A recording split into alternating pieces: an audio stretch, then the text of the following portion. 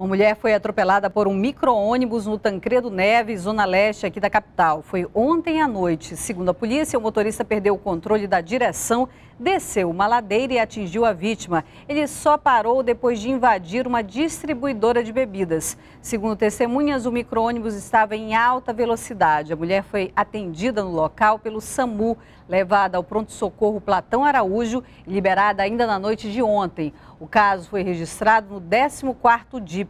O motorista prestou depoimento e foi liberado. E olha, o setor de serviços, que ainda não tinha sentido muito a crise, teve uma queda no faturamento ano passado. Nos salões de beleza, por exemplo, o movimento diminuiu muito. Movimentado, não tem sido fácil manter assim. Promoções e descontos atraíram a clientela.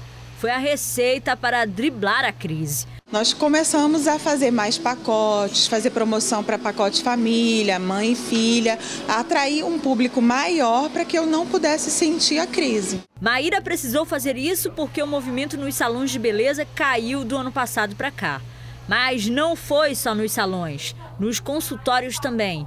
Janeiro e fevereiro foram meses de poucas marcações de consultas. Essa fonoaudióloga aproveitou o tempo mais vago para investir em capacitação. A gente aproveita para se reciclar, né? fazer outros cursos. A gente não pode parar no tempo, a tecnologia está aí, a gente tem que estar tá aprimorando sempre.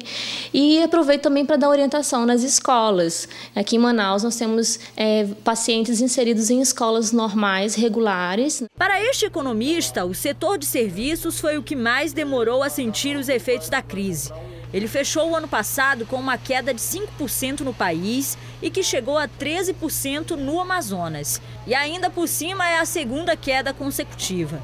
Em 2015, a retração foi de 3,6%. Esse efeito da crise se deve por determinados fatores, entre juros altos, inflação né, e consequências de final de ano e começo de ano. Ano passado foram os transportes que puxaram para baixo o desempenho do setor.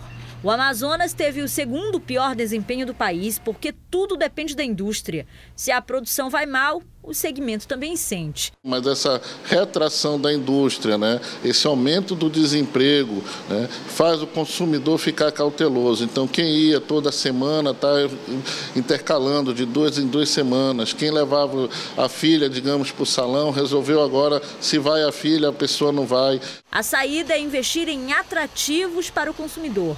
Foi o que fez Dona Francinete manter as idas ao salão. Dá para vir de vez em quando, vem de dois em dois meses, três, mas é muito bom.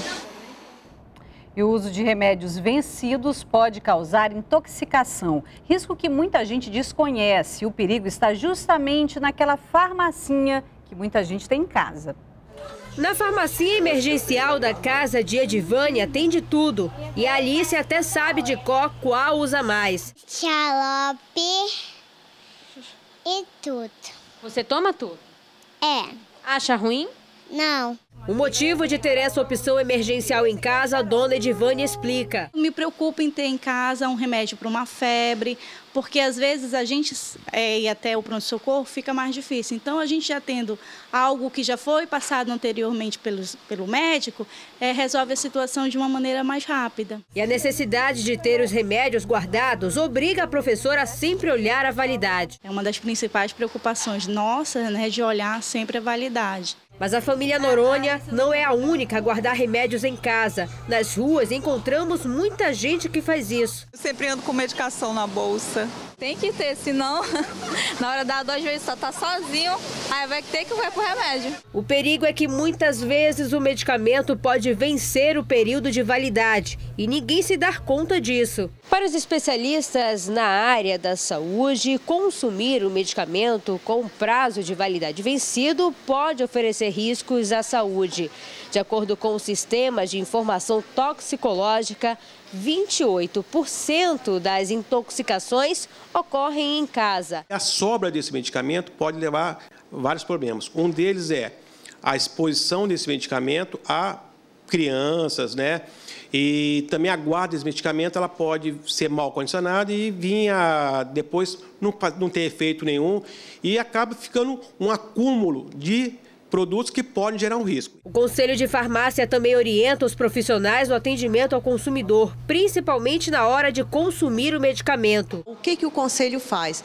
Ele atualiza com palestras, com pós-graduações, com parcerias de outras instituições para que o farmacêutico sempre tenha a informação precisa para levar ao paciente. Dona Ruth sabe dos riscos, por isso olha tudo antes de comprar. A data de fabricação e a data de vencimento que é o mais importante. Mas cuidado, como falamos anteriormente, a atenção não precisa ser direcionada só para o prazo de validade, mas também na forma de guardar, principalmente em casa. Depois de abrir a embalagem, guardar por no máximo a metade do período de validade exposto pelo fabricante, em locais secos e arejados, ao abrigo de luz que não seja do sol. Evitar deixar na cozinha ou banheiro por causa da variação de temperatura. Tarefa difícil, mas que com conta muito na hora de reutilizar os remédios.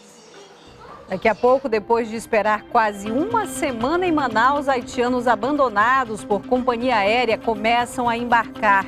E mais 60 quilos de drogas são apreendidos na zona norte de Manaus. É já já.